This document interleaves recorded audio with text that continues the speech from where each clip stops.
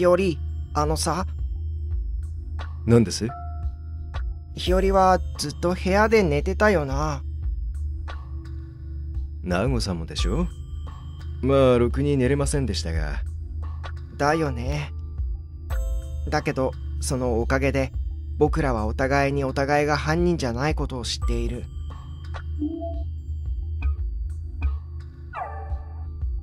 ナスさん、あの、なんだい？昨べはすぐに寝ちゃいました。まさか。ちゃんと寝る前にいつも通り腕立てと腹筋と背筋と。そそうですか。あとてるてる坊主作ってたし。ほらあそこにあるやつ。そう言って那須さんはテラスのひさしにぶら下がったタオルでできたてるてるポーズを指さした最初2階の吹き抜けの手すりに釣ってあったんだけどさ椿くんから人影みたいに見えて不気味だからよせって怒られてね。でしょうね。暗い廊下であんなのがぼんやり見えたら僕だって悲鳴あげる。あのそれって何時頃ですか？てるてる坊主釣ってたのって。最初に吊るしたの ?11 時過ぎだったと思うよ。その時は部屋から誰か出てきたとかってことはなかったんですか？うん、誰も。あー、でもそういえばあったんじゃないけど、下に誰かいたの見かけたな。下って吹き抜けの ?1 階のロビーのことですか？なんか台所の方に向かっていくのがちらっと見えたんだけど、体型からしてマダライさんだったと思うんだよね。ああいう体型の人はマダライさんだけですもんね。それが11時過ぎのことですか？うん、そう。11時15分かな。そこらじゃないかな。ってことは、マダライさんが亡くなったのはそれより後のことなんだ。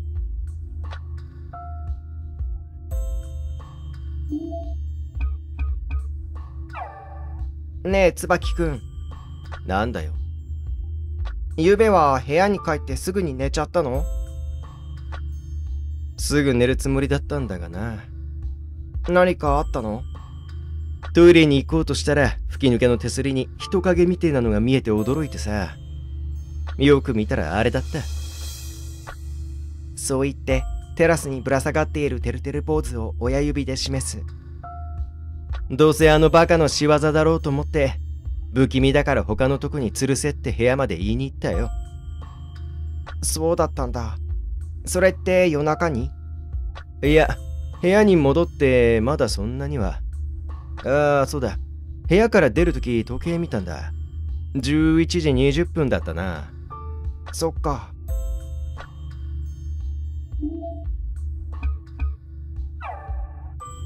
すずなちゃん、あのさ。はい？ゆうべはすぐに寝ちゃった？ううん。お姉ちゃんの部屋でしばらく喋ってた。ずっとしずなちゃんの部屋にいたんだ。うん。そう。あ、違うわ。一回トイレ行った。それで戻ってきた時、部屋の前で三佐々木さんに会うたんで、挨拶してうちはすぐ部屋に入ったん。三佐々木さんか。三佐々木さんは出てきたとこだったの？うん、出てきたとこみたい。そのまま廊下歩いてったし、どっか行ったか知らんけど。そっか。それって何時頃だった ?11 時ちょっと過ぎかな。多分5分くらい。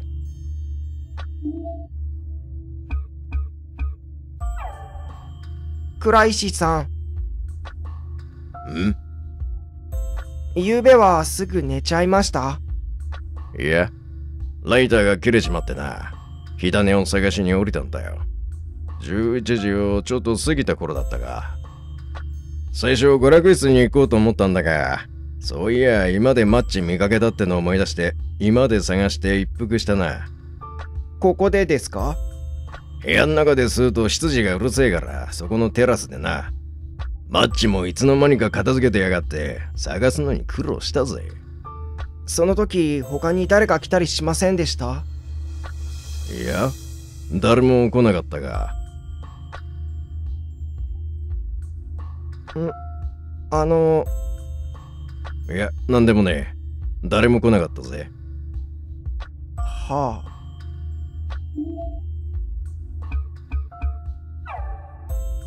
あ。ねえ、しずなちゃん。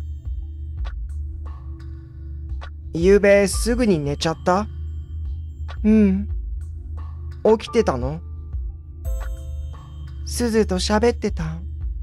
一緒に部屋に戻って11時半くらいまで。それでトイレ行こうと思って部屋出たら、なんか声したから見に行ったら那須さんやった。吹き抜けんとこに突っ立てるてる坊主ほどいてた。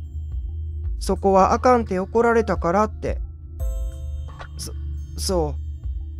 普通は夜中の廊下で遭遇する光景じゃないよな。それ。それで、すずなちゃんはその時部屋に戻ったんだ。そう。その前に一回トイレ行ったけど、その時は5分くらいで戻ってきた。そっか。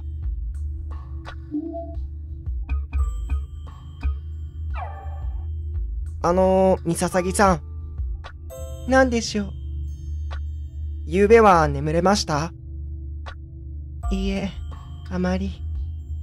そうですよね。じゃあ、なんか変な物音とか？さあ、そこまでは。どうしても喉が渇いて、台所に飲み物をいただきに行ったのですけど、何もありませんでしたし。それって何時頃ですか？多分11時過ぎです。そういえば、部屋を出た時に、鈴名さんにお会いしましたわ。ちょうどお部屋に戻られたところのようでした。そうですか。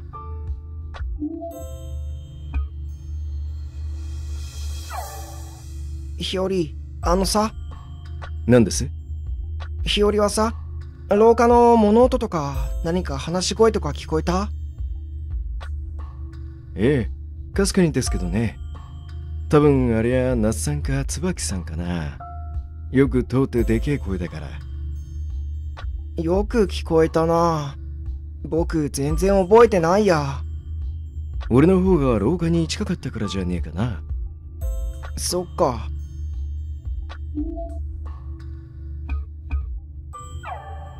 那須さん、あの、なんだい？てるてる坊主って、椿くんに怒られてすぐに吊るし直したんですか？うん、そうだよ。朝までに何とかしとけって言われちゃったし。でしょうね。直しに行ったのは何時頃だったか覚えてます？えっと、スクワットの1セット目が終わったところだったから、あ11時半ってところじゃないかな。そうですか。なんかすごい基準で時間が計られてる。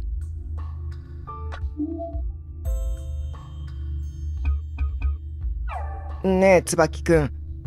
なんだよ。夜に会って話した人って、那須さんだけだった？うーん、そのはずだけど。他のやつ見かけた覚えねえな。じゃあ、那須さんの部屋にいたのってどれくらい？中まで入ってねえよ。ドアのとこで一言二言話して、すぐ自分の部屋に戻ったし。そっか。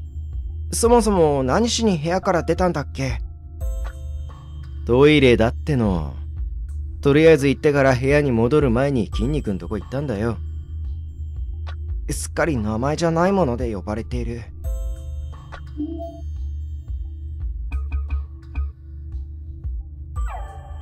あの、みささぎさん？何でしょう？すずなちゃんはすぐに部屋に入ってたんですか？そうです。私はそのまま台所に。どれくらい台所におられました？えっと、10分、いえ、15分くらいかしら。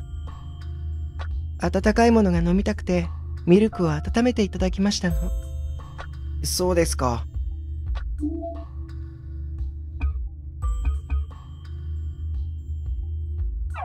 ねえ、椿くん。なんだよ。今朝は起きてからさっきまでずっと部屋にいた？なんか騒がしくなるまではまだ部屋にいたけど？そっか。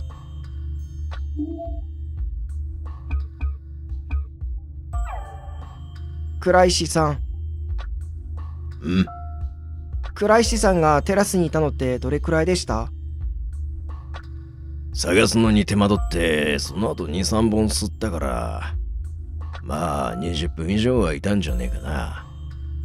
?20 分以上ですか。30分ってことはねえと思うが、まあそんなもんだ。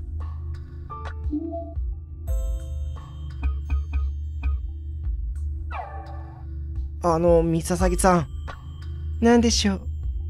台所に行かれた時とか戻る時に、マダライさんを見かけたりとかしませんでした？いいえ。部屋を出た時に鈴名さんにお会いした以外は、どなたにも会っていませんわ。マダライさんにももちろんお会いしてませんわ。食堂は開けませんでしたし。なんか物音がしたとか、そんなことも？物音は、聞こえませんでしたわ。雨の音が激しかったですし。ああ、でも、台所へ行くとき、ホールから倉石さんが今の方へ向かうのはお見かけしました。倉石さんですか？ええ、見かけただけで話したりはしてませんけれど、それ以外には特に変わったことは何もありませんでしたけどれ。そうですか。あの、けどれ、いや、そうですか。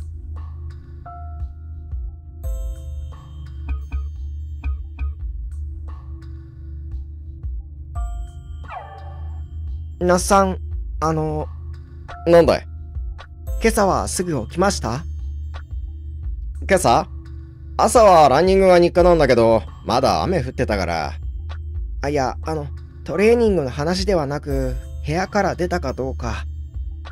部屋でダンベル上げてたら、なんか騒がしいから出てきたんだよ。そうですか。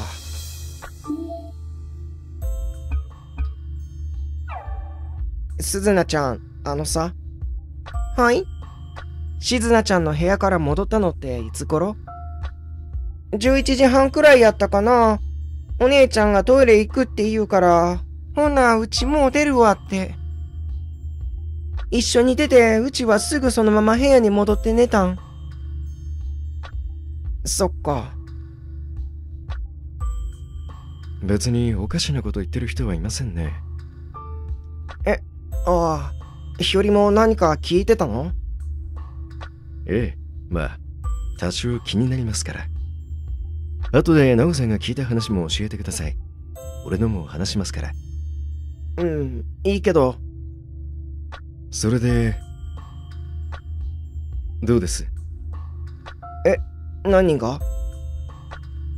何がって何か考えがあって話聞いてたんじゃねえんですかい？いや、別に、シーンとしてると怖いから。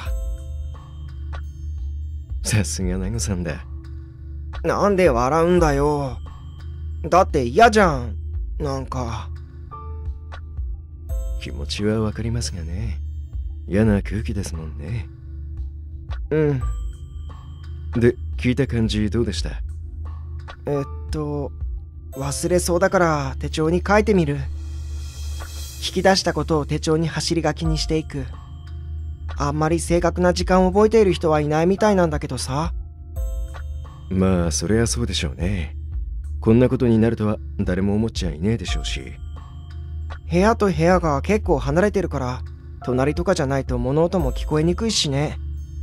雨が降ってるせいもあるんだろうけど、扉の音ぐらいでも俺らの部屋からじゃほとんど聞こえませんねそうだよね。僕も今朝足音とか聞こえてなかったし。かけたよ。パッと見た感じ変なところはなさそうなんだけど、うんどうかした？ああいえさすがにその時間食堂にいたなんて人はいませんねいたら怖いよ。ナゴさんこれね表にした方が分かりやすかねえですかい？表？マドライさんが亡くなったはずの時間帯をざっとねアリバイってと聞こえは悪いですがで、でも、それじゃあこの中に、この中に犯人がいるみたいだ。と言いそうになって慌てて口をつぐむ。他の人たちはまだそれぞれに物思いに沈んでいるようで、誰もこちらは見ていなかったけど。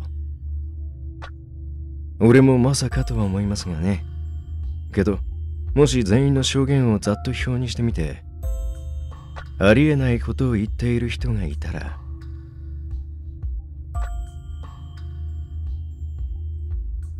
ゾクッと背筋が泡立った。そんな人はいないと信じたいけど、もしも、いたら。何か気になることでもあるの？まあ、誰もおかしなこと言ってなけりゃ、それで安心じゃねえですかい。そ、そうだよね。わかった。でも、さすがにここじゃ。ですね。後で部屋ででも表にしてみるよ。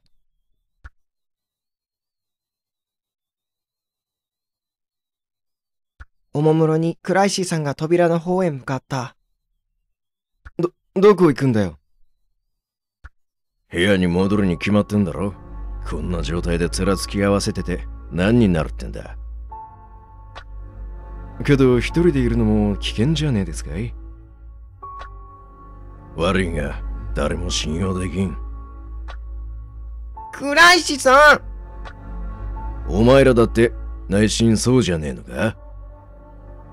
横にいる奴が絶対に嘘はついていないって確信できるか？すずなちゃんはちらりと自分と同じ顔をした姉に視線を走らせたが、何も言い返さなかった。姉妹の間では信用がある。嘘はついていないと思っているのかもしれない。僕と日和がお互いだけは犯人じゃないと知ってるみたいに。でも、それ以外の他の人たちはと言われると、それは、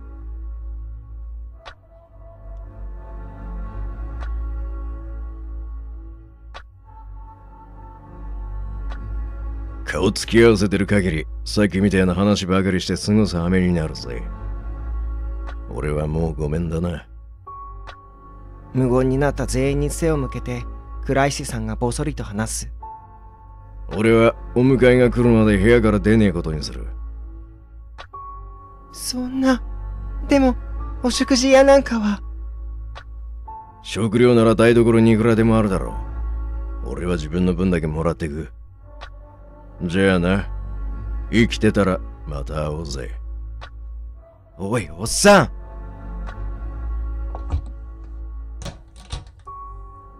椿くんの声には振り返らず、クライシさんは今を出て行ってしまった。